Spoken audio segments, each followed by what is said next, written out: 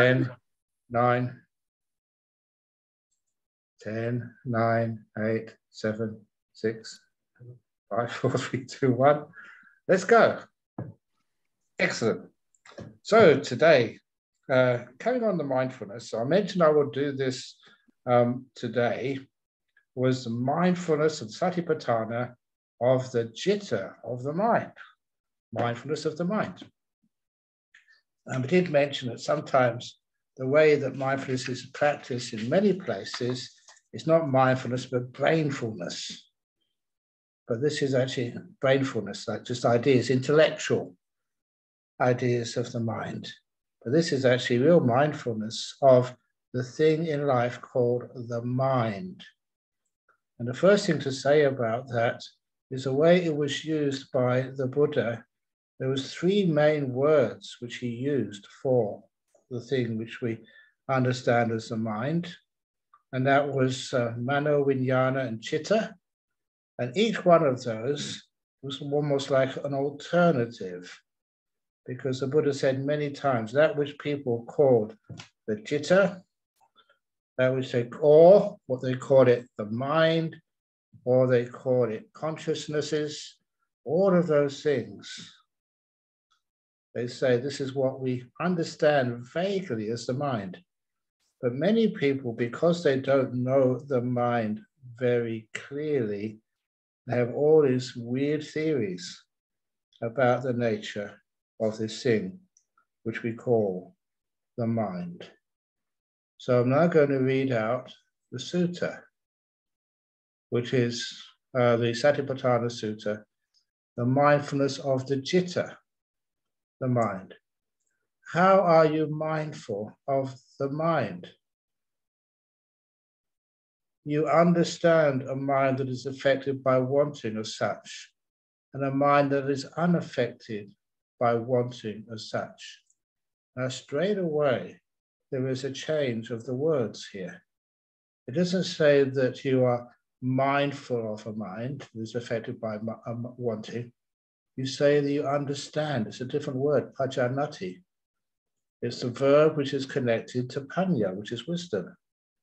It's like a wisdom understanding. So you understand a mind that is affected by wanting something. What does that feel like when you want something? How does that affect not just your seeing, hearing, smelling, tasting, touching, but this knowing, this mind? Straight away you should understand it distorts it, stretches it. It stretches for wanting something in the future or by getting rid of something in the past. And you understand a mind that is unaffected by wanting as such. This is a very rare mind that is unaffected by wanting, which is at peace and content. One of the things I didn't say this morning, which I regret I didn't say, was that there's a wonderful saying that when you want something more, you cannot appreciate what you already have. You can't enjoy it. The wanting something more takes away the focus, the enjoyment, the valuing of what you already have. And that is something for me as a monk who say, crikey, why do I want anything more? This is not the best, but just wanting something spoils it. I can't enjoy it. So when you want something more, you cannot enjoy what you already have. In other words, wanting is one of the main causes of suffering, not being at peace. So understand this, a mind affected by wanting and a mind unaffected by wanting but how can you do that? That's a very powerful thing for you to actually to penetrate. So how you do that, you may remember that this is actually what the sutta says, or rather the abbreviation of the sutta, because the point which I mixed out, which I missed out, was for all parts of the satipatthana. You only do this practice once you have restrained the five hindrances. Vinaya loke abhijado manasa. When you're energized, mindful, knowing the purpose of what you're doing. Why are you doing this? So the most important part here, especially with this satipatthana, is that the five hindrances are weak enough, you can maybe understand what this mind truly is. And I said, even in the Anapanasati, it's not just always mindfulness of the breath. You do the breath as much as you possibly can until it's done its purpose. And then you go on to this thing called. That's the first time you can have a reasonably good idea of what this mind is. Otherwise, it's a mind which is uh, almost say tainted by the five senses. I gave the simile of the gold. And this is a simile of the Buddha. You only know what gold is once you can purify it from all the other metals and contaminants in it. So it's just 100% pure gold. The only way you can know what a mind is, when it's just a mind there and nothing else contaminating it. It's a Buddha simile. So you understand a mind affected by wanting and a, and, and, and a mind which is not affected by wanting. You must understand a mind affected by aversion as such, and a mind that is unaffected by aversion as such. You understand a mind that is affected by delusion as such, and a mind that is unaffected by delusion as such. You understand a contracted mind as a contracted mind, and that's explained as because of dullness and drowsiness. So that hindrance of being dull and drowsy means you've got a very small mind. It's just bound in a prison of dullness and drowsiness. And a distracted mind is this distracted because of restlessness and remorse. So you see here the five hindrances are included here. Dullness, sorry, wanting, first hindrance, aversion, second hindrance, delusion, that is also part of doubt. You're not really quite sure what you're doing or why you're doing it. And I didn't mention, but I should have mentioned in when I started talking about things like nimittas, that in all the years I've been teaching, and people say that they have a light in the mind, they think it couldn't be a nimitta, they doubt its veracity. They're just imagining this, or someone shining a light in their eyes, or there's some other experience of the nimitta not seen uh, by the visual language, but feeling it or hearing it or smelling it or something. We mentioned that a day or two ago. That people doubt that so much. And I said, wonder, why are you doubting it? Because roughly about 98% of the time, if you think you're seeing a nimitta, you are. And this is not being honest with you that all these people who meditate, and sometimes I couldn't have been an nimitta, it couldn't. And he talked with them and said, look, it probably was. But what's fascinating for me, why do people doubt it? And a lot of times it is because they don't have enough respect for themselves and their own meditation.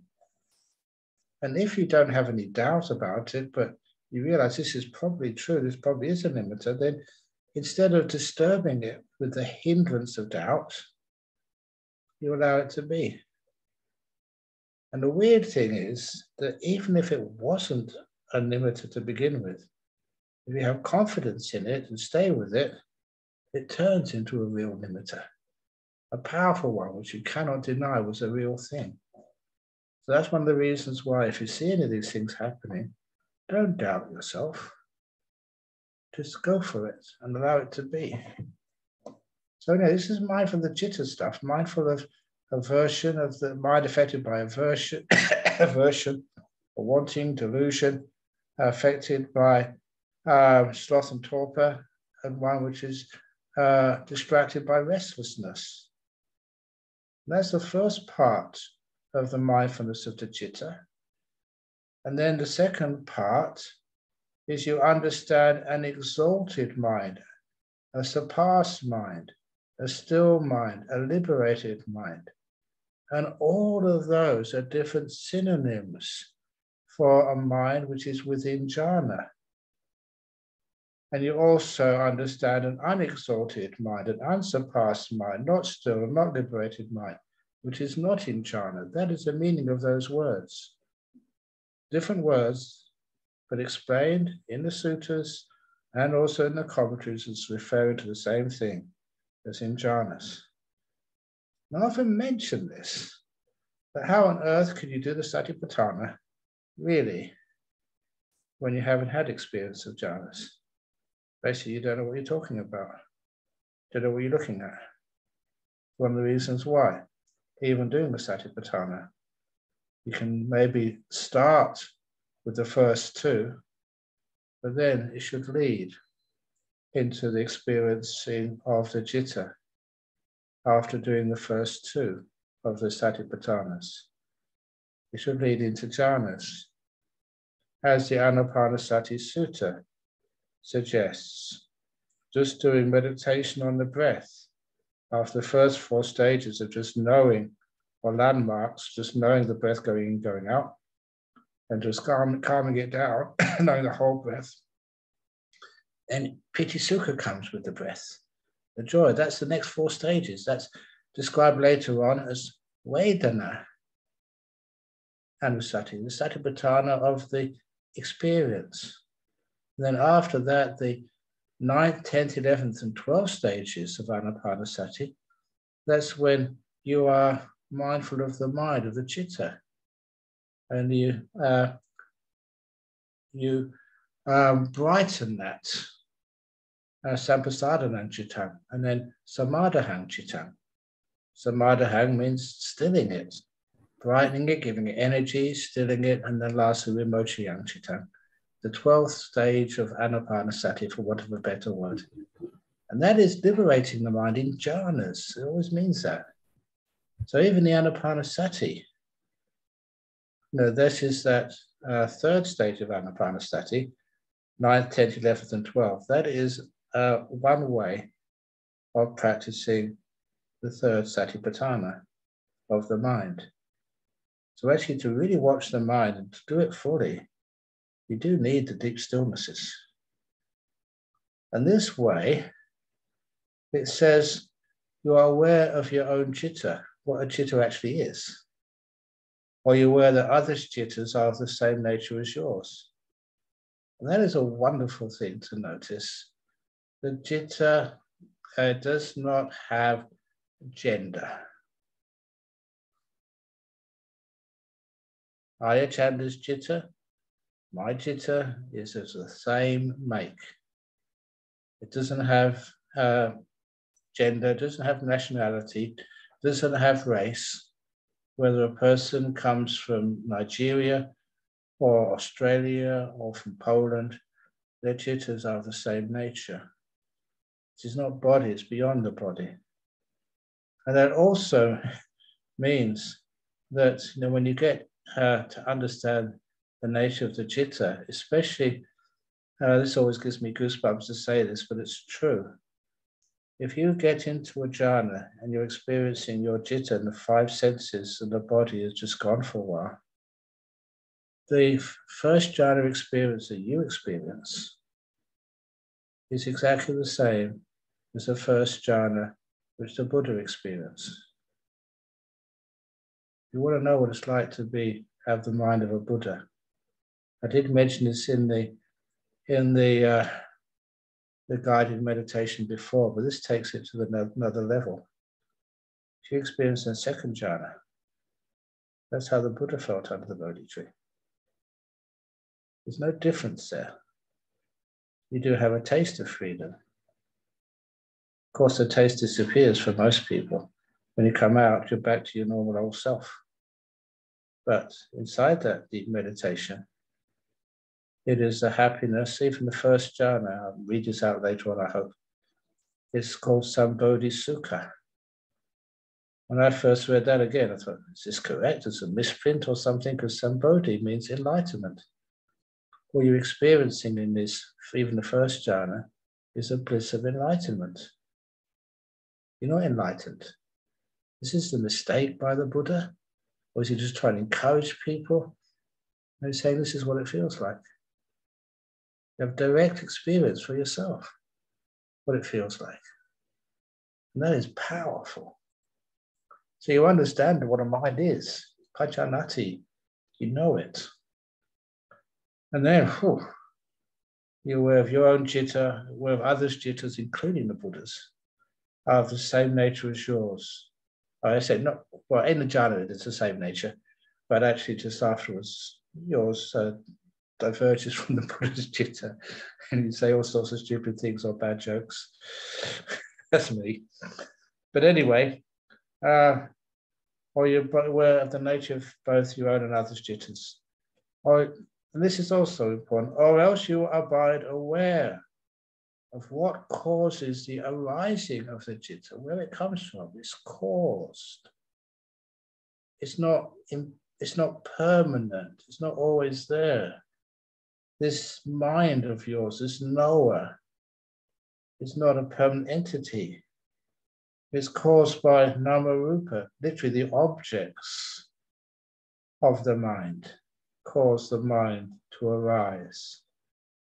You abide aware the citta is of the nature to cease when namarupa cease. Or you abide contemplating the citta's nature of both arising and ceases, ceasing or else mindfulness that it is just a citta, impermanent, suffering, and not me, not my, not a permanent essence. Which established in you to the extent necessary for mindfulness and wisdom, essential to liberation. When you realize your mind, the citta, is impermanent, it's not deathless, it's not eternal, It's cause. And when the cause goes away, so does the citta. And that way you abide independent, not clinging to anything in this world.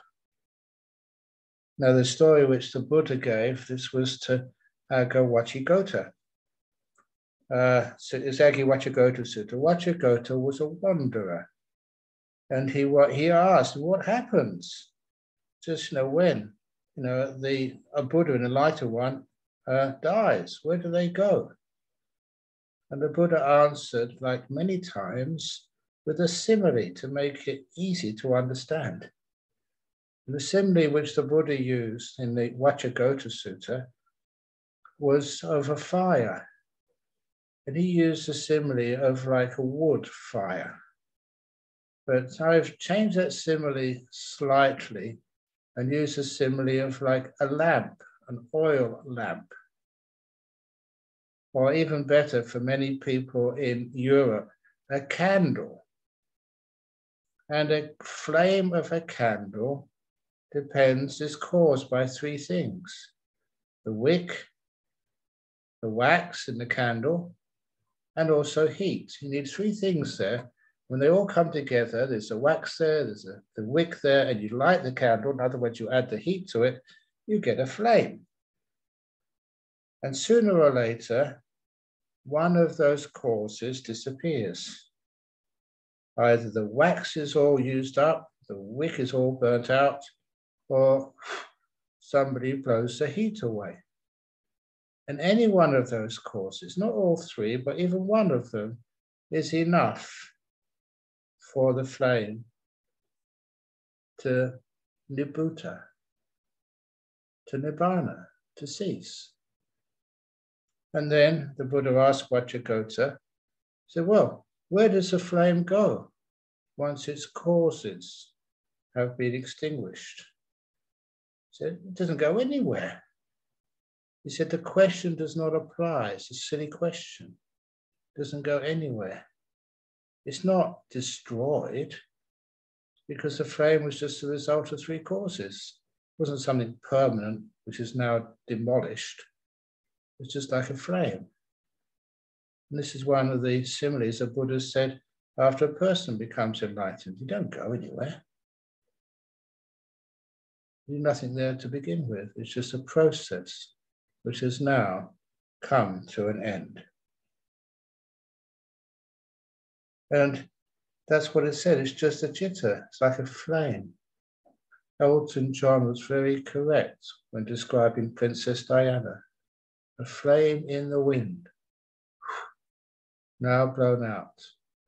Uh, however, Princess Diana, I don't think was enlightened, but nevertheless, the Buddha was even a more powerful flame.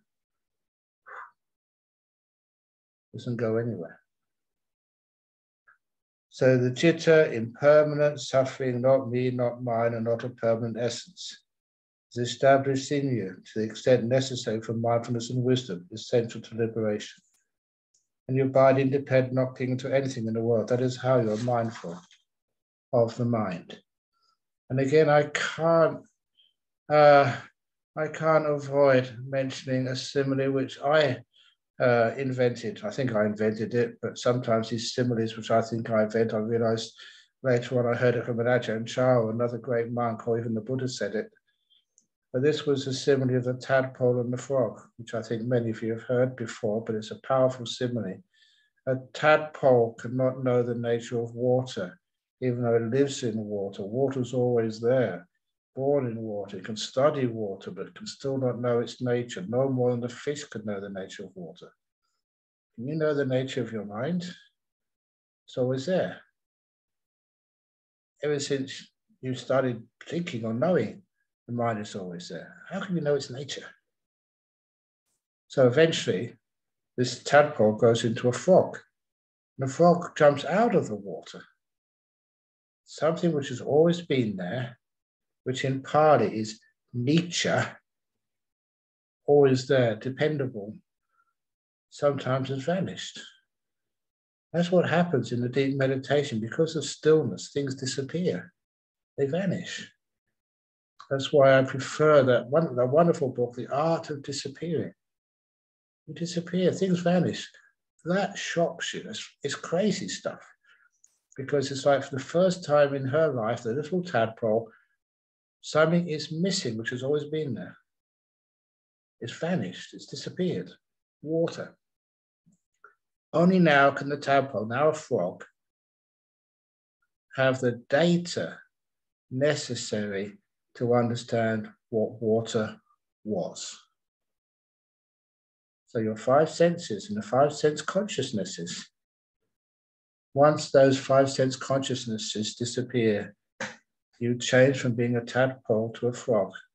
You can meditate to the point of things being disappeared and enter these deep meditations. That means that now you can see what's disappeared.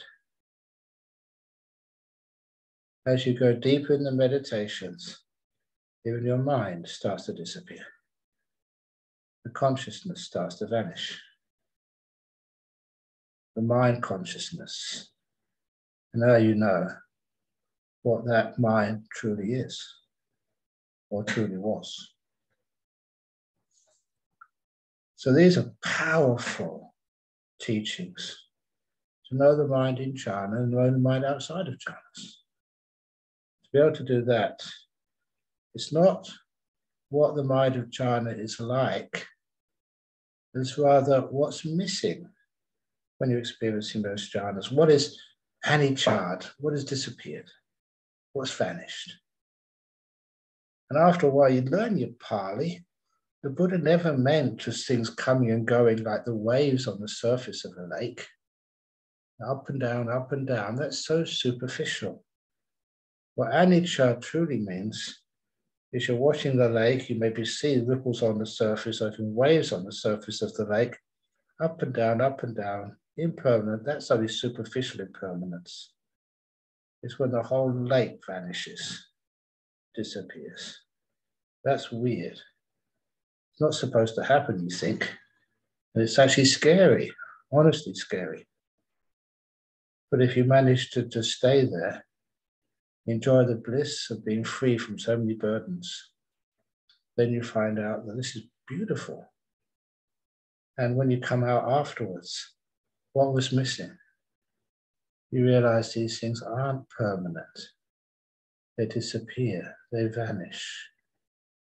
And they're joyful because when they do vanish, it's like suffering has disappeared. A particular type of suffering. It's easy for monks and nuns to say, oh, the body is suffering, but who actually believes that? You believe it might be sick and you can ease that suffering by getting healed or taking some medicine or something, but we still really believe that this body is a source of happiness and pleasure for us. When you get into these deep meditations, you're mindful of the chitta. Oh my goodness. You know for sure that the body is suffering. Even its most beautiful forms, the most beautiful thing you could ever see, the most wonderful sound you can ever hear. Smells, taste, physical touches, suffering. The whole, please excuse me, the whole bloody lot. Now, the next part of the Satipatthana mindfulness of mind objects, of like dhammas. Mind objects of dhammas, I still haven't really settled on which one to use. The, the party said the mindfulness of dhamma, satipatthana, the fourth satipatthana being aware of dhamma. And okay, yeah. Wonderful thing about this was that uh, uh, nice, friendly monks who I associate with, people like Ajahn Sujato and Ajahn Brahmali and Analayo and a few other sort of little um, rebellious monks and nuns who question normal translations and, and actually look at the suttas, they found these many different types of versions of the Satipatthana Sutta. And the some of them, they seem to be really early parts of Satipatthana. And the, for the fourth Satipatthana, the focus of mindfulness on dhammas, they only have the five hindrances and the seven enlightenment factors. That's all. All the other things are absent. And because it's the simplest form of the Satipatthana Sutta, uh, many people, like Ajahn Sujato, infer that it's the earliest form. There's a very good argument for that. Simple. So with that Satipatthana, all you're really getting to know and understand through mindfulness training is five hindrances and the seven enlightenment factors. Five hindrances are like the enemies. Seven enlightenment factors are the solutions. Let's see how the Buddha put it.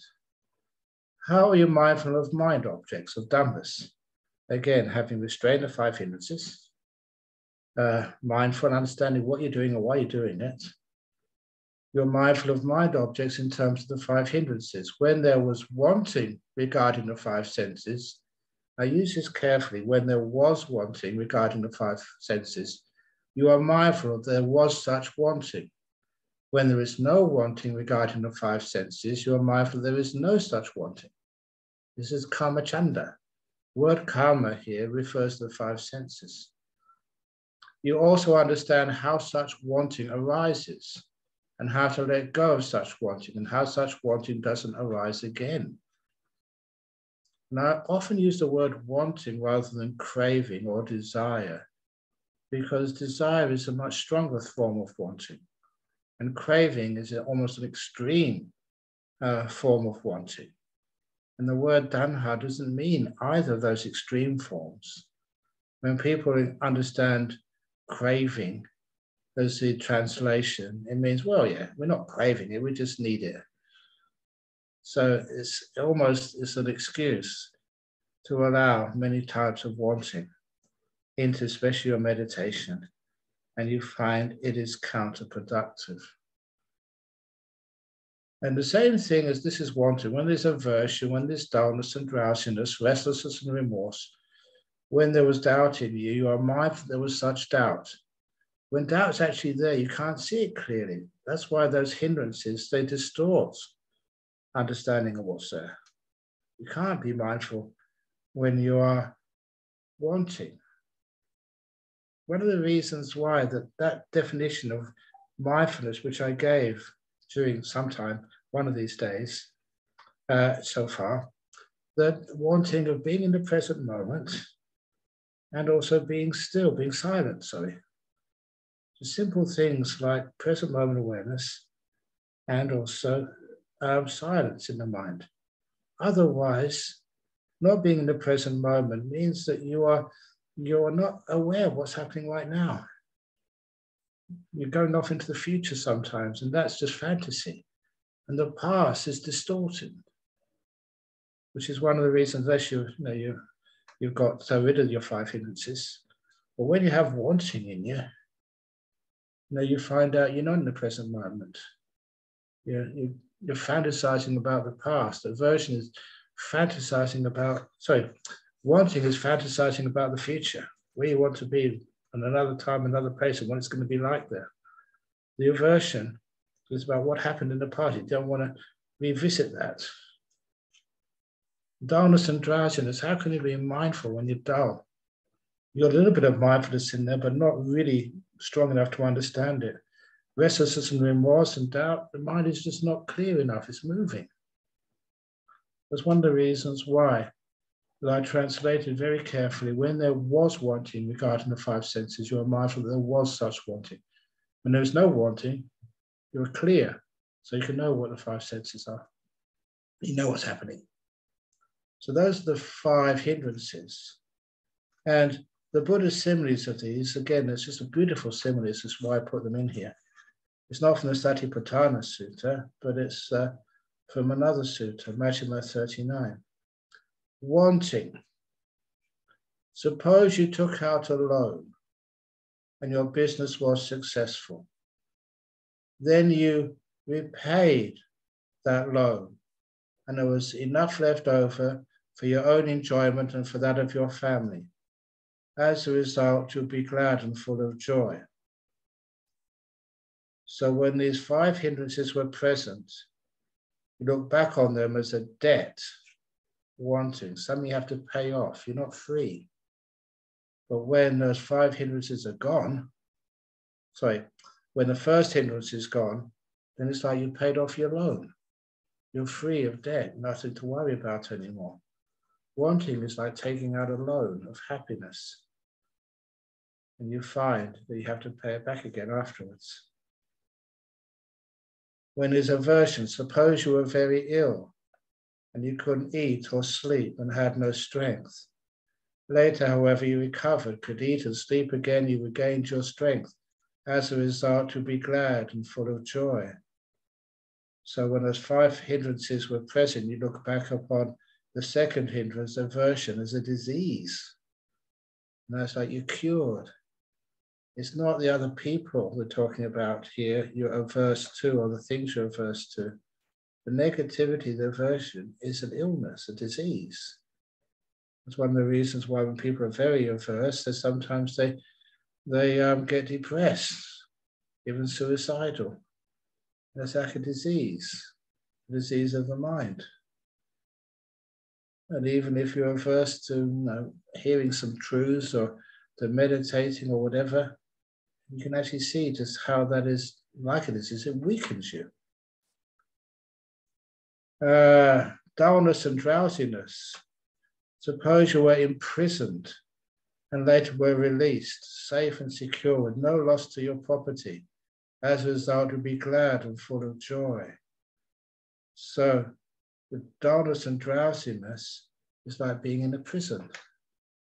You can't go where you want to. You can't really be aware because you know the, your dullness, you've got no energy. Or the fourth hindrance, restlessness and remorse. Thinking too much, can't be still, always just on the move.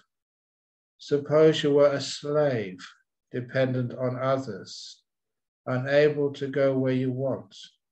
Then later you were released from slavery, independent of others, able to go where you want. As a result, to be glad and full of joy.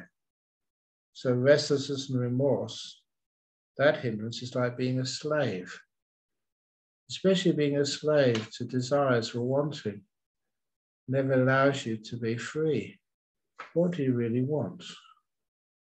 Why do you want it? It keeps you on the move all the time, wanting something more, something extra.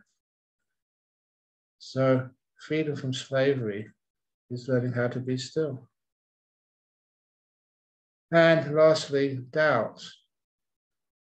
Uh, suppose you had to travel along a, a dangerous road across a wilderness, but later you would pass through that wilderness safe and secure with no loss to your property. As a result, you'd be glad and full of joy.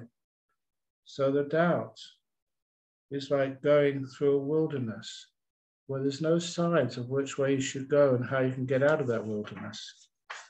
That's a simile for doubt. And I was being really serious there, but unfortunately, my nature is I can't always be that serious. So, one of the similes for doubt, which I've said on retreat, was of this person who was uh, in the desert, totally lost, dehydrated, uh, crawling on his hands and knees, just know, feeling he's not going to make it through this wilderness, he's going to die there. And in the distance, he could see the horizon shimmering. And he thought this must be, must be just uh, he's losing his mind or a mirage or something. But as he watched, that object which was shimmering on the horizon was approaching him, coming closer and closer. And he thought, this is actually something moving towards him. Maybe it's a chance of getting saved and he won't be lost in the desert anymore. And as it came closer and closer, he couldn't believe his eyes. It was actually a man in furs on a sled being pulled by these husky dogs. And he thought, it really is, the heat has got to him. This, what is this doing in the desert?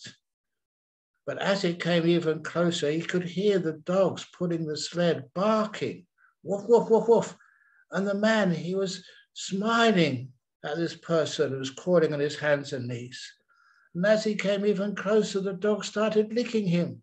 He realized this wasn't a mirage, it wasn't a fantasy, it was real. He'd escaped from the desert. And this, this man got the energy to stand up and said, and said to this man in this sled who was an Inuit, he said, I've been lost in the desert for days, said this man who who had been crawling on his hands and knees. And the Inuit replied, and you think you're lost. okay, I thought that was funny when I heard it. Hope you didn't mind.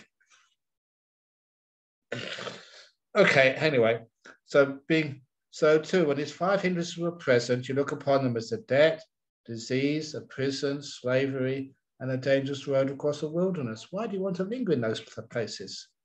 When these five hindrances have been abandoned, regard them as freedom from debt. You don't want anything. You don't have to work hard to pay off your debts.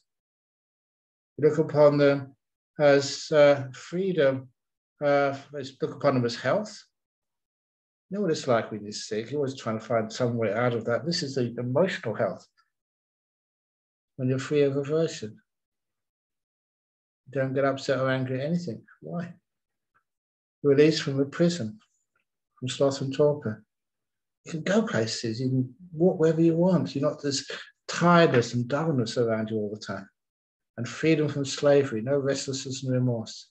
You're not being driven to do things. You found out what's driving you and you settle it, which means you can be peaceful. No restlessness, no remorse. And lastly, freedom from doubt. You reach the land of safety. The seven enlightenment factors, the opposite of the five hindrances. Oh. While you are mindful of mind objects or dhammas in terms of the seven enlightenment factors, which I love.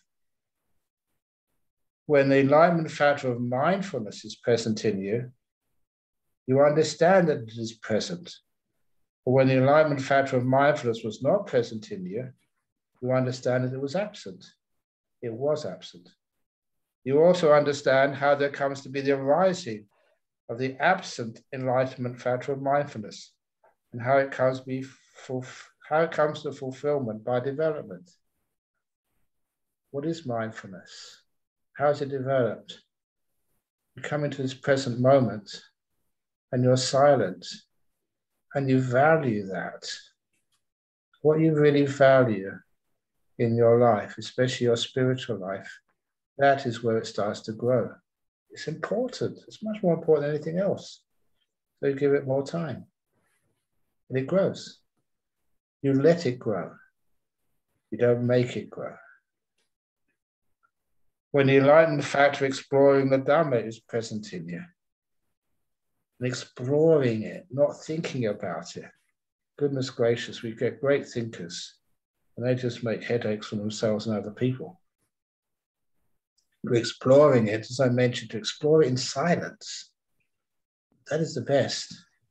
I didn't mention of uh, uh, what is the name again? Davison.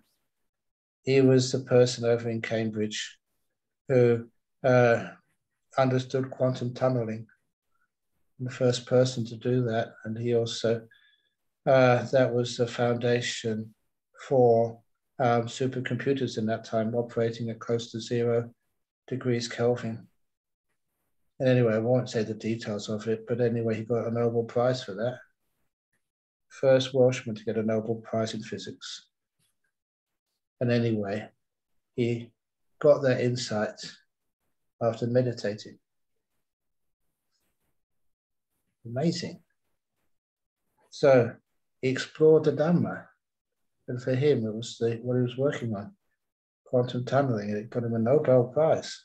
Whoa exploring the Dhamma, not thinking about it, but just seeing it and seeing it come right up to you. When the enlightenment factor of energy is present in you, these things lead to one another. When you're mindfulness, real mindfulness, then you can actually explore the Dhamma very easily. You're not thinking about it, you're knowing it. And when you explore the Dhamma, energy does come up inside of you. You get sort of bright, fluffy tails, as they say up, up here.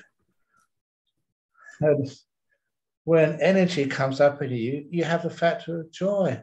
This is like piti. It's wonderful joy in you that you, you're having fun with what you're doing. And those of you who've known me for a long time, you know, I enjoy what I'm doing. I really have fun meditating, even teaching, because joy comes up. What happens after joy? The next enlightenment factor is tranquility, passaddhi. When you have joy in your mind, it's easy to sit still. There's no joy in the mind, you know, you're restless and the body starts to move all over the place.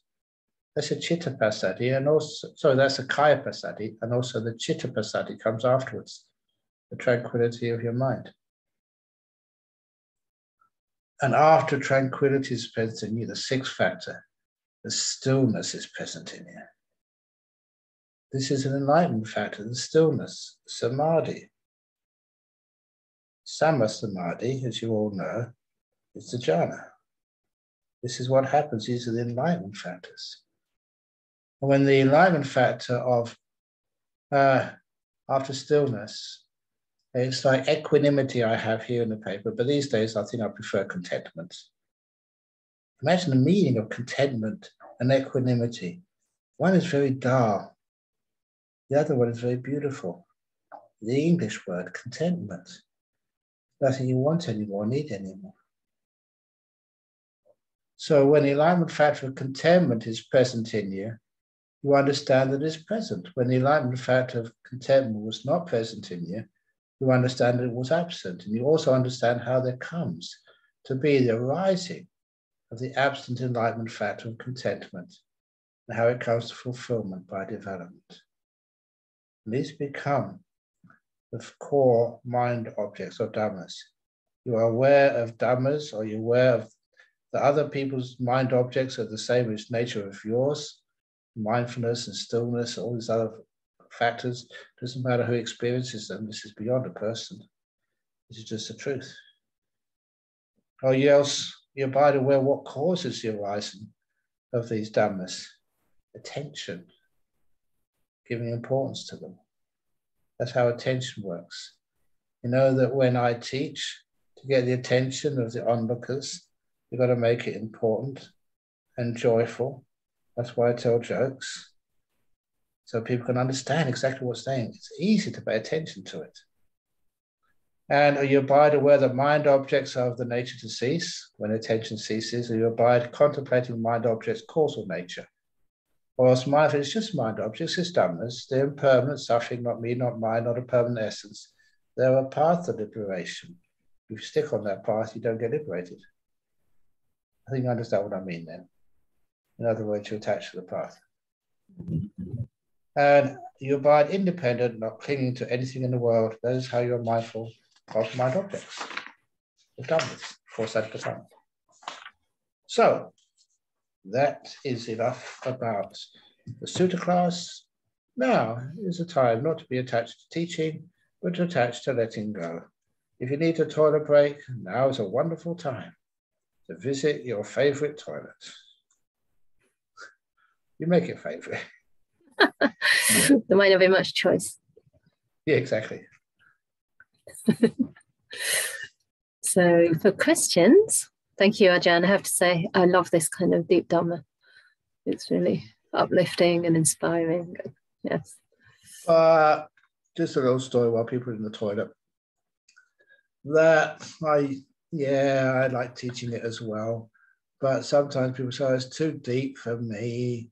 I'm only a lay person. I don't want to become a monk. I don't want to become enlightened because I've got things to do in the world. And I remember just the first time I taught in Singapore, and uh, people had actually heard me many times on YouTube or somewhere come over here to Perth. I remember the, the president of the Buddhist Fellowship at that time was a lawyer. And I told Ward talks about opening the door of your heart, two bad bricks in the wall, truckload of dung in the front of your door, all those sorts of stories, which are important, they're great. But he said, I want deep Dharma. Can you just give one talk which on deep Dharma? Did you really want a deep Dharma talk? I asked him. He said, Yeah, yeah, yeah. He didn't know, what he was asking for. So in the evening, I really gave it to him in a talk with many people. And I really laid it on the line about sort of, you know, deep down with the nature of things. And then afterwards, the next morning, when he picked me up to take me to breakfast, and I said, please, Ajahn, I'll never do that again. Why not? That's what you asked for. He said, but I never slept all night. it was scary for him, telling the truth. Just like when you've been in jail for so many lifetimes, to open the door and show people what it's like outside. They're fascinated, they're interested, but are they really ready for it? Lovely little story there. It's happened many times before. Sometimes people are really afraid of the truth. Eventually, once you put it in people's minds, you can't avoid it. It's the truth, it's real. See it in the sutras, see it in your favorite monks and nuns. It's true. So, shall we start, Ajahn? Because okay, uh, yeah, certainly. I'm quite yeah, sure that we'll get a lot of questions. Uh, okay, so someone's saying during meditation, I'm experiencing thoughts of subtle aversion that keep echoing in my mind. I tried substituting with joy, but the echo keeps coming back. What skillful means can I use to overcome this hindrance? Welcome the echo. Because if it's aversion, you're trying to get rid of it, you're being averse to the aversion. So welcome, well, thank you aversion, for coming to visit me. It's the anger eating demon story again. So look at the aversion with welcoming. Thank you. I don't know what you're trying to treat me, but you can come in anytime you like. Then aversion has no power over you from that moment on. You're welcoming what's happening right now. In other words, you're giving it loving kindness, opening the door of your heart to this weird experience experience is not aversion, it's how you react to it is. Next question, please. These are, um, I thought these sort of questions might come. So, if the conscious mind is impermanent, what is deathless? The deathless is a bad translation. It's like absence of death. It's, it disappears. Actually, the word deathless, Ah, mata. Mata is the, the death. Amata does not mean the opposite of death. It means the absence of it. It's a privative um, suffix in grammar. I don't want to be so pedantic and you know, just about the nature of language. But sometimes we add to the language something which is not really there. And that's where we get into trouble. A good example of that is, um, what's it called? Um, the Lewis Carroll's Alice in Wonderland, or Alice Through the Looking Glass. I can't remember which one it was. But when the Alice arrived at the square of the Red Queen, and the Red Queen said, Did you see anybody on the road? Because I'm expecting my messenger to arrive. And Alice said, I saw no one on the road. Really, you saw no one. What good eyes you have. It's as much as I can do to see someone, and you can see no one. Wow, you're such got gifted sight. And then soon the messenger arrived, and the messenger, I said, did, uh, the queen asked the messenger, did you see anybody on the road? And said, the messenger said, I saw no one on the road. Oh yes, this, this young lady, Alice, she saw the same person on the road. She saw no one on the road. But why were you so late? Well, I ran as fast as I could, said the messenger. But, and no one passed me on the road. Exactly. No one passed you on the road, so no one runs faster than you. Yeah, that's true, Your Majesty. No one runs faster than you. So you're very slow.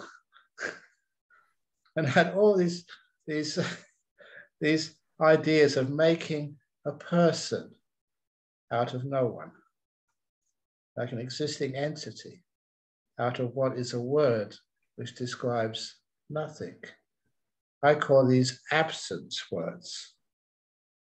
I mean, it's, it's common that people make something out of a word which is meant to describe the absence of something, not something else. So deathless is an absence word. In Pali, the amata. The end of dying. The end of dying, there's no dying in that state. No, it's uh, nothing left. End of dying is a good word. Good translation. Similar questions are coming. So if the chitta doesn't go anywhere, then is that annihilationism? I actually mentioned that you weren't paying attention. it's not annihilation because there's nothing there to begin with. It's just a process. Are you annihilating the flame of a candle when it goes out? You don't annihilate it. All that flame was to begin with was the heat, the wax, and the wick coming together. Now the wick, wick, the wax and the heat are just ended. So the flame ends. You don't exterminate it. You're not annihilating it. There was no essence to it to begin with. It was empty without a core. Um, so then what is it that gets reborn?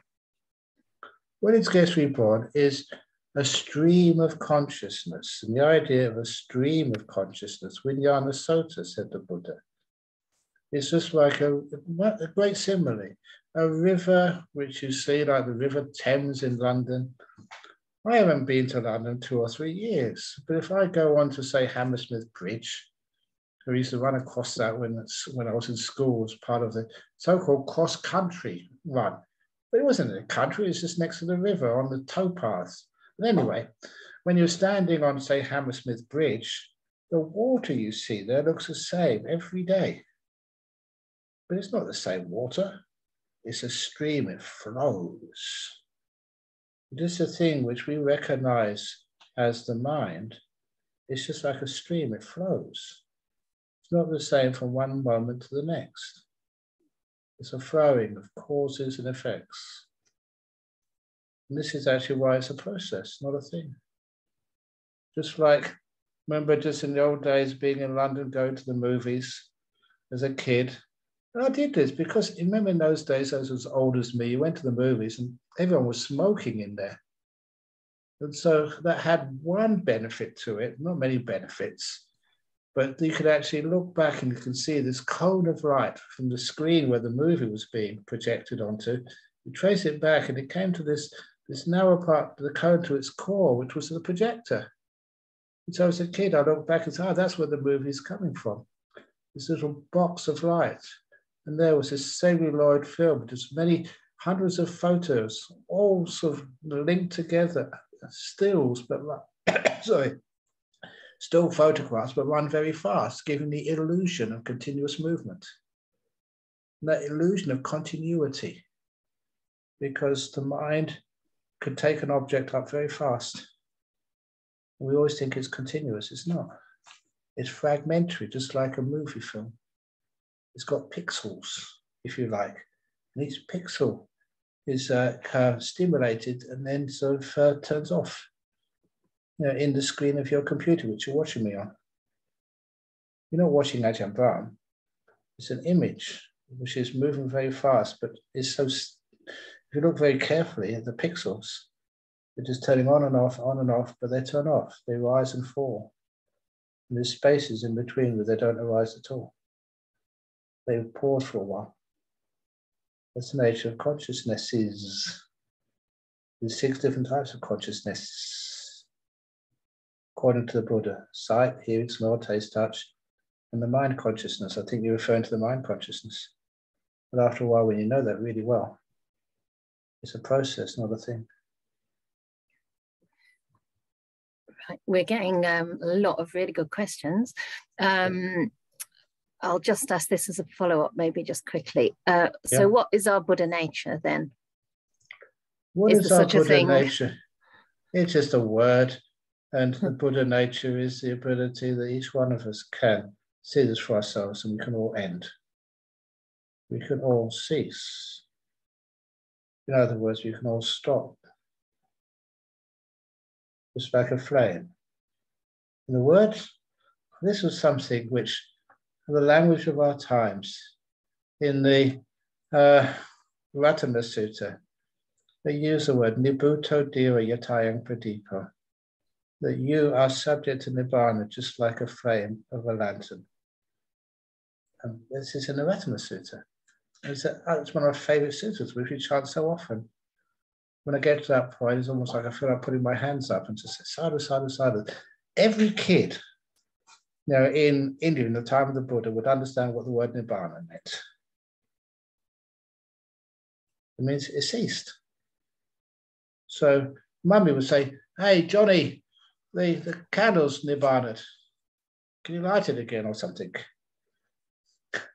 And this is actually a word which in common usage, which was then used by the Buddha to apply to the ceasing of things, not annihilation of things, but ceasing of things. Okay. We've got a couple of questions about enlightenment that are quite similar. One person's asking, why is it that some people get enlightened in this life and others don't? And can everyone get enlightened? Yeah, basically everyone can get enlightened. Whether they will or not, I don't know. Everyone can uh, everyone can go and see this uh, this class. Everyone can join Anukampa Bhikkhuni project and support Ayya Candā but how many will? So everyone can, but not everyone will. And number two is what was it? What why be enlightened or was it? No, why why are some people enlightened in this life and others are not? So the different speeds. Well, different speeds, yes, because why are some people just graduate and some people don't? It's not just different speeds, but what do you really want? And have you had enough of wanting? How's your history? How's your mindfulness? Who are you? What is what is your mind state right now? What have you listened to? What dhammas have you been fortunate enough to hear? Look, it's just like uh, let's not talk about enlightenment here, but just jhanas. Why do some people get jhanas, some people don't? A lot of time is because people tell you it's not necessary or they tell you oh, you're a lay person. People can't get. You're a woman. You can't get enlightened as a woman. Some people say that. Total BS. You know what BS means? It means bullshit, but I'm not allowed to say that. Oops, I have. But anyway, you know that sometimes what some people say is just total, you know, off the planet. Everybody can achieve a jhana. Why do and, some uh, people do and some people don't? And it's sometimes because they don't have confidence in themselves, they don't give it time. But they can. But a lot of people won't. Even sick people, no energy can. That's amazing thing. Even people with who have, uh, how was it, disabled can. So one of the greatest things is just to do with the mind. It's nothing to do with the body. So if you can let go of the body long enough, then the nimittas will come up and the jhanas will happen. Um, so a follow-up to that is in our next lives, do we keep the good practices and remember the Dhamma we heard in previous lives? That's in case we don't get enlightened. You don't remember them perfectly, but you remember enough of them. You have inclinations towards these things. Now, I can't say too much about my own practice and lives, but I just do remember the first time I saw a Buddhist monk blew me away. This was, you know, I didn't have any experience of Buddhist monks. I had a bit of, know, sort of picture in a book or something, but actually to see one, a real one, wow, that was mind blowing. So where did that come from? Of course, you do remember a huge amount. You can actually just uh, go backwards for, a while.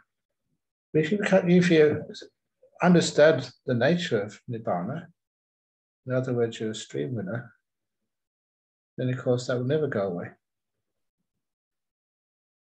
So if you're a stream winner in the last life, this life, you'll get the same experience again. See the same Dharma. It's like you experienced stream winning the second time.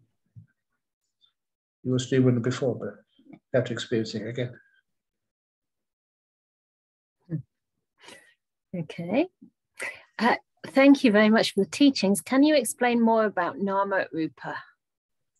Nama Rupa, the simplest way of explaining it is that a simile of the Buddha, that consciousness, so vijnana and Nama Rupa are like two sheaves of reeds, or like the stalks you know, after the harvest, which the farmers lean against one another to support one another so that the sheaves of reeds can dry.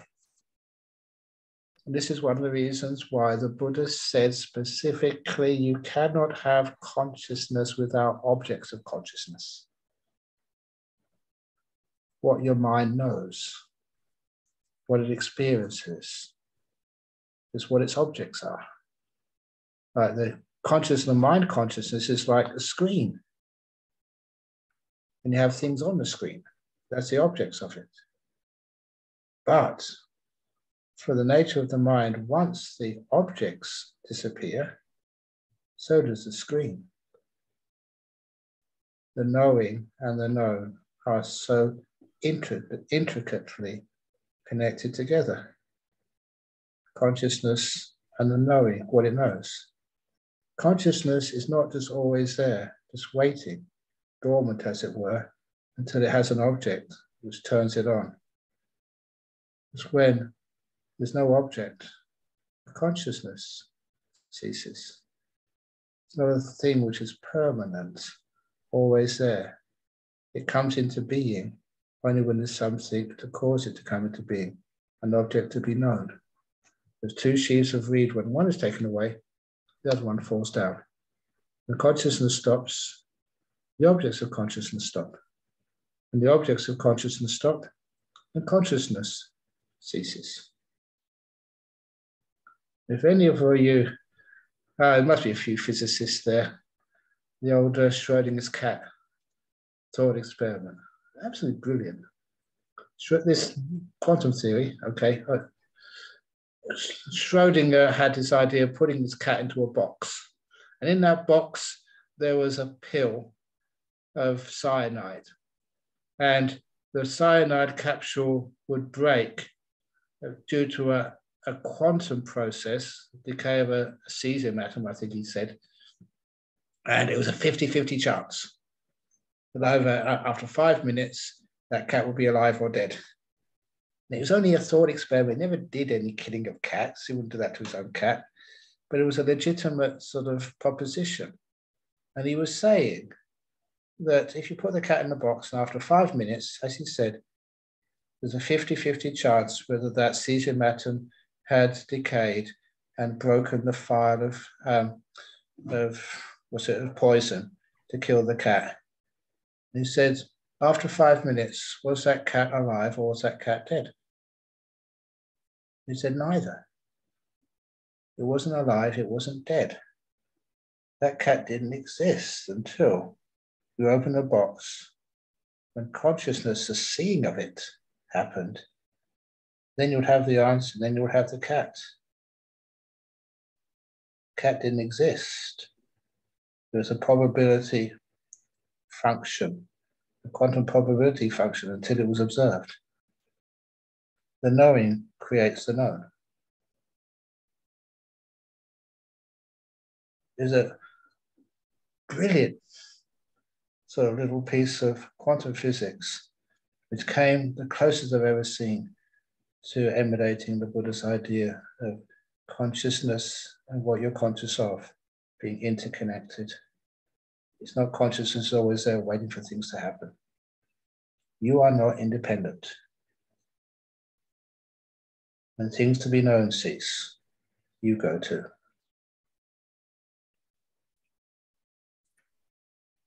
Okay, next question. Yep. Okay. Um, dear Ajahn, during meditation, when I get reasonably peaceful, I regularly get quite tangible feelings of movement in the mind. The body and five senses are there, but less noticeable. The mind feels spacious and feels like it's floating randomly. I have only twice before had very clear visual nimittas. Is this floating, spacious mind more likely piti than nimitta? Yeah, it doesn't matter what it is, it's good stuff. So what happens when you start getting very peaceful? The mind starts to, to get strong and dominate the five senses. The best way of describing this is like a kid has been freed from, uh, is finished school and uh, he's allowed to go overseas for the first time. And his mum and dad and uncles and aunties don't know what he's up to. He's free or like a person goes to university for the first time, they go a bit bananas the first couple of weeks because mum and dad doesn't know what they're up to. It's that freedom from being under control. That's like what your mind does. When you actually start letting go and go into meditation, your mind can really play around. If it does, please enjoy it. It's like a free gift. And I know that some teachers say, no, you see weird things are floating up and down and see strange images and feel like you're, you're expanding or sinking into the floor. You're not sinking into the floor. It's not a psychic power. It's just your mind is playing around. It's free of all constraint or free of many constraints for a while because you're letting go much more. Let it have some fun. Because what that does, that encourages you to keep on meditating, it gives you a bit of a, a buzz for a little while. And then after a while, it settles down. Then you see the nice peaceful nimittas. It's a great what you're doing. And those sorts of things happen. You're perfectly safe. Don't have to worry about a thing. It settles down by itself after a while, but enjoy uh, the free virtual reality show. okay. Okay. It's good today we're having questions by people who haven't asked before. So uh, you just said that if you if we think we see a nimitta, it's very likely a nimitta. But I thought yeah. that when we see a nimitta, we cannot think, is it a nimitta? Because we're so oh. quiet, we cannot think. That's when you get into jhanas, that quiet, you can't think. Nimittas is liable if you think that you will disturb everything. But just a little thought, you're not totally peaceful yet, but pretty peaceful. And this is one of the problems there. That you know, if you see a nimitta and you say too much, nimitta goes away again. Nimitta is like to see animals in the forest.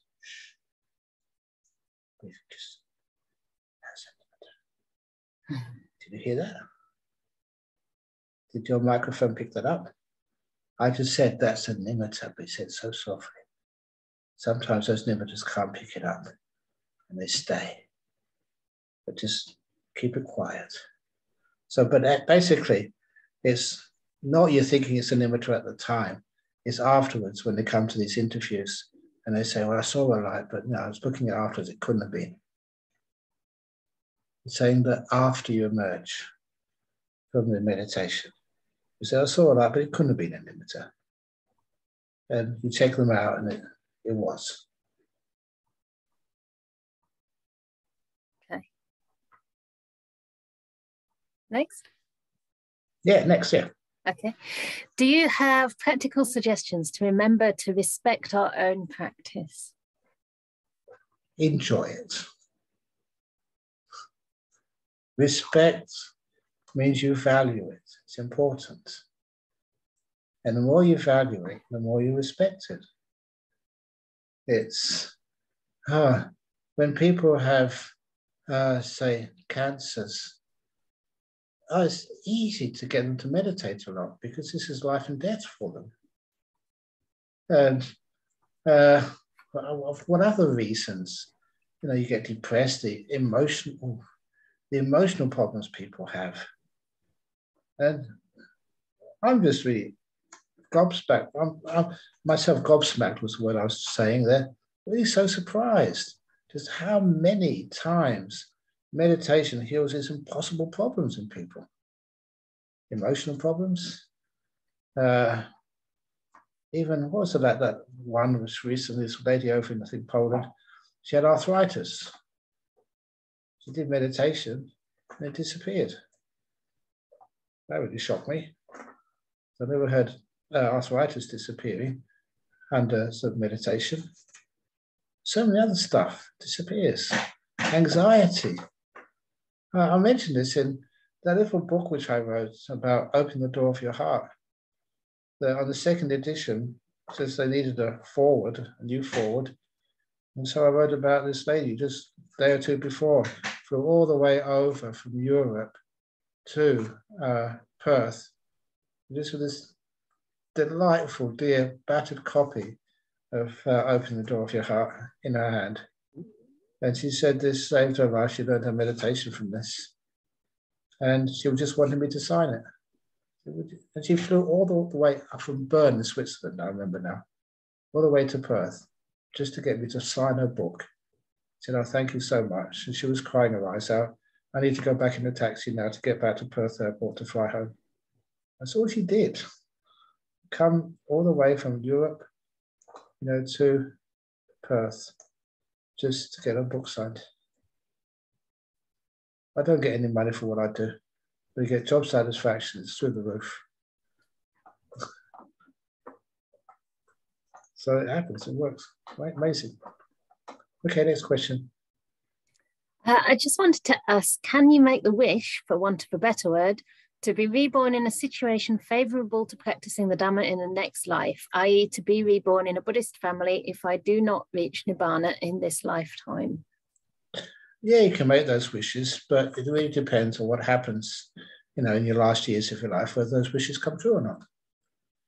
Because sometimes you make those wishes when you're inspired, not later on in your life you change your attitudes to things. You have other wishes which dominate. But look, it's not just wishing. They always say there's two causes to getting reborn here, reborn there. It's not just what you determine, but it's also your karma and your inclinations. There's a Buddha said if a tree is leaning to the west, when it falls, it's liable to lean to the uh, liable to fall to the west. That's your inclinations. But it's also your, you know, the, your karma. Have you got enough karma to actually to fall in that direction?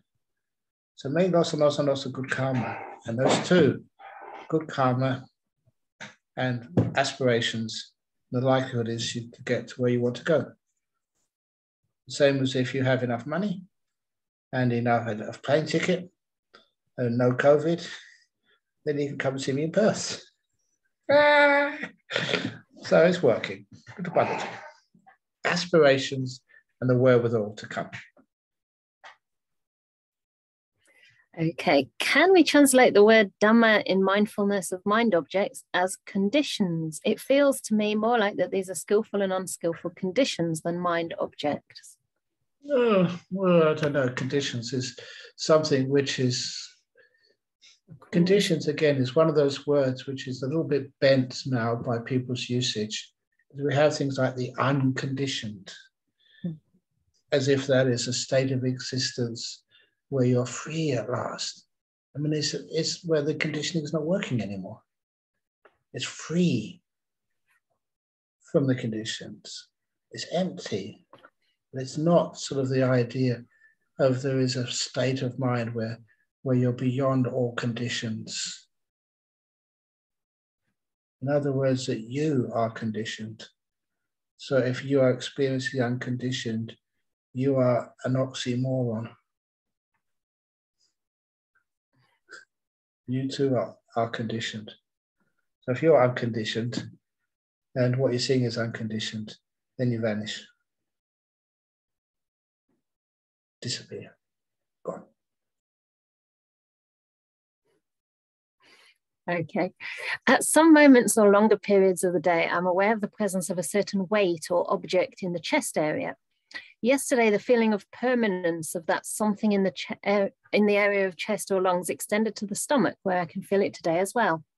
I don't attach much importance to it, but I wonder if anyone else feels something similar, and is it common for it to appear? How would you advise me to treat it? Just to welcome it, be kind to it. Don't worry about it. It'll come and go by itself. Like all things, they're uncertain, impermanent and nothing to worry about. If it's a heaviness, you know that how that means to you, after a while you'll find when you don't worry about it, it'll disappear. Nature of things. I don't know exactly how deep you are in meditation when these things start to happen, but a lot of times, if a body feels very heavy when you're very, very still, but sometimes the next thing which will occur is the body totally vanishes. What is actually happening is that your mindfulness is increasing in its power. So what you're doing, you're, you're amplifying feelings which have always been there. They seem to, to be heavier or itchier. There's a common thing in meditation. It's happened to me uh, early on that when you were meditating, you started to disappear, like your whole body was just tingling. Like ants were crawling all over you.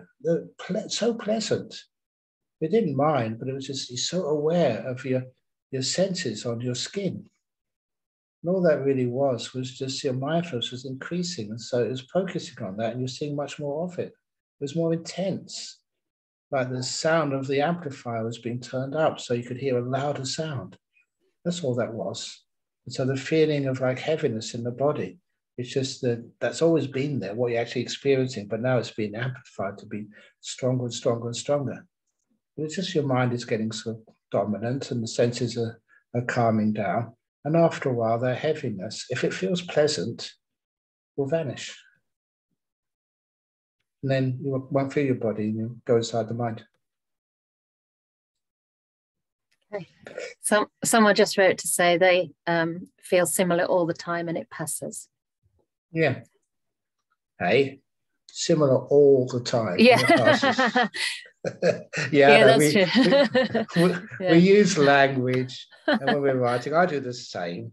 And sometimes you say one thing and they say another thing afterwards. and which one is true?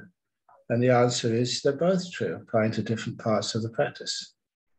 Mm-hmm conventional and ultimate or something. Okay. Well, not two, just yeah.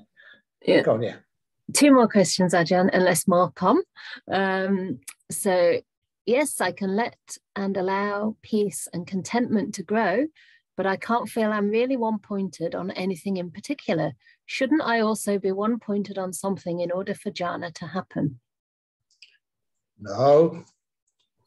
One pointedness happens by itself just what is actually one pointedness. It was actually Ajahn Sujato said something. There's some valid validity to that. The ekaggata, first of all, it's just not it's not just one point. Agga is a peak. It's not any old point. It's a summit. And if I use the Sanskrit form of Agga rather than the Pali form, the Sanskrit form of Agga is Agra. Agra, have you now in the town of Agra in India, it was the capital, the peak of the Mughal Empire in India. That's where the Taj Mahal was, the, the Red Fort, Agra, the peak. And this is actually why when you say ekaggata, it's not just any agga, it's one peak of mind. And so that's it happens quite naturally anyway. So you don't have to try and do it. Keep the peace and the silence. Because the peace and the silence, when you're silent, it's a little trick to make sure that you don't interfere and say things and give instructions.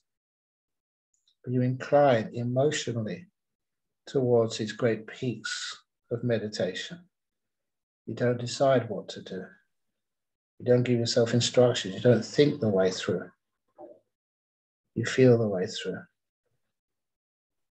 The emotional intelligence gets you deep, not the intellectual instructions. Intellectual instructions point in the right direction. Then you allow, allow your emotional wisdom to take over. So, last question. If the mind and consciousness are dependently co arising, then once the body falls away or dies, they should also fall away because they rely on each other. What happens when the body dies is that the mind just creates a mind made body, manomaya kaya. So it still has something to depend upon. But if the body totally disappeared, then instead of having the mind made body, you have the mind just, well, it's another type of mind made uh, existence, even in the jhanas. In the jhana realms, which appear after a person passes away, who've had experience of jhana and is not afraid of those great nimittas. Have you ever noticed that once a person dies, what do they do? They go towards the light Does that ring any bells? That light is a nimitta. Your five senses are turning off. You're dying. And what you actually see is this beautiful light. And if you're not too afraid, that's where you get sucked into. If you're not too busy with other things you're attached to in this world, you know, unfinished business or whatever, then you, know, you don't stay as a, a, ghost or as other type of being for a while, a spirit you go straight into that light. You may even get into a, a jhana realm. Most people, they just go in there and come out and go into some sort of heaven realm for a while. But imagine just being sucked into there and just knowing what you're doing and how to turn those nimittas into jhanas. Not what you actually say, what you decide to do. It's just what you've been practicing for a long time. And that means that's your, the nature, it's just automatic. It's just how you incline the tree doesn't decide to fall to the west when it's leading, leading to the west, it's what it's going to do. A decision. It's just the, the result of all those leanings and inclinations over the whole many years. And that's actually what happens when you pass away. So learning meditation, deep meditation, like we're teaching you here, is actually, I sometimes call these courses uh, Dying 101 learning how to die, but dying with wisdom, with kindness, learning how to let go so much. When the nimitta comes up, you can really make the best use of it. Okay, there's another part, a personal part to this question. Yeah. So they're asking, um, so what is passing to the next life? When my grandma passed, I felt her presence one evening and even saw her as a small ball of light that came to visit my room. But I've read that Theravada rejects the idea of um, a puggala spirit or mind that passes between lives? No, they don't. Theravada, Hinayana, Mahayana, Vajrayana, it's all the same Buddha we follow. So this happens. And of course it happens. And that's even in the suttas. However, there was a group of people that mostly not really Theravadas, please excuse me, the people who practice Abhidhamma and think the Abhidhamma is more important than what the Buddha said in the suttas. You follow the suttas, the Antarabhava between realms exists. And that's what they usually, the spirits, if you like, the one of a better word, person who's died has not get properly reborn yet. that's where they exist. It's just like a realm which you can actually say they existed between the real realm. So a person dies, and of course they stick around for a while. People see them, it's truth. And you can't reject that. And then after a while, then they get reborn again. Or they go to some heaven realm or go somewhere. But that space in between is real.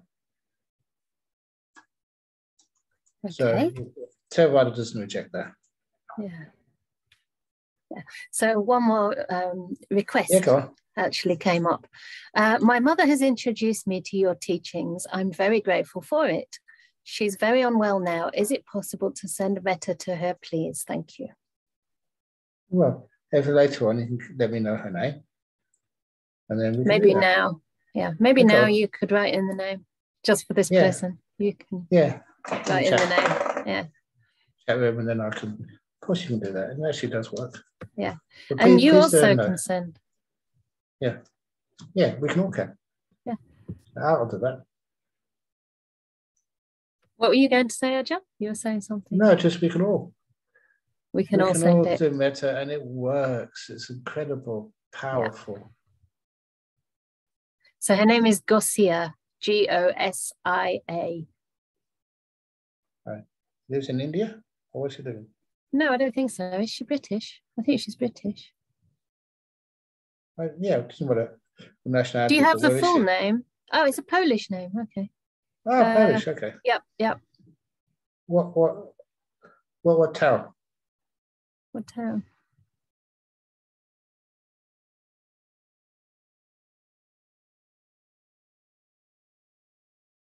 Uh. will arise. Oh, G D A N S K. Oh, Gdansk. Yeah. Gdansk, yeah. Do you know it?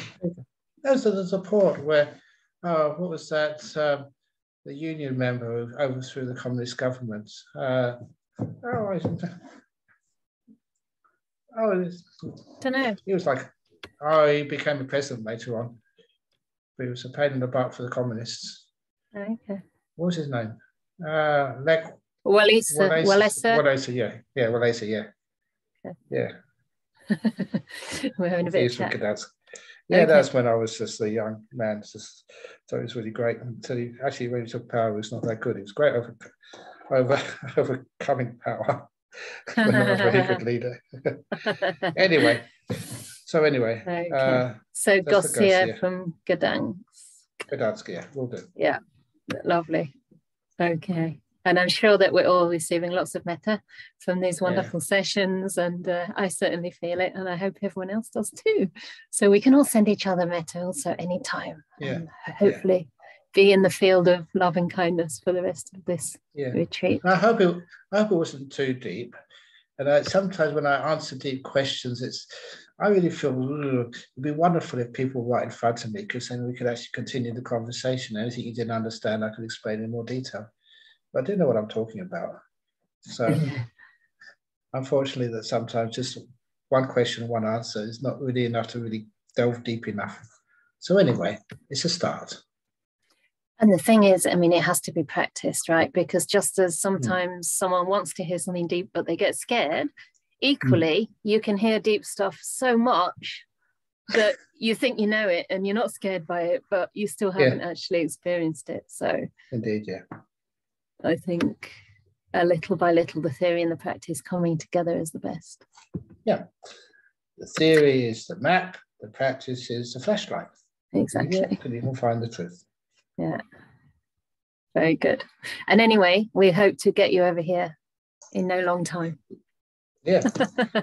if not, if anybody knows any secret service, they can actually, uh, what is it? Uh, uh, not render me. Hmm? That means that means I, I go to sleep here in Perth, and then the secret service comes, and when I wake up in the morning, I'm in a different country.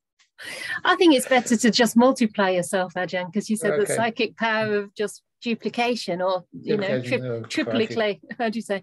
Make Yeah, many, okay. make many. Make many, okay. But anyway, I might even mess, messing around. So may you all be happy and well, and I'll see you tomorrow.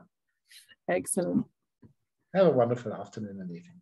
Yeah. Bye. Bye. Take care, Ajahn, and I'll see everyone in the evening. Hopefully, you've all got the link for the meditation session, the quiet meditation session, and you've got lots of tools in your kit now. So you can either bliss out on loving kindness or you can lie down and die or whatever it is you want to do. Fair enough. okay. Bye. Okay, bye bye. Good night, Ajahn. Sleep well if you wish. I will do, yes.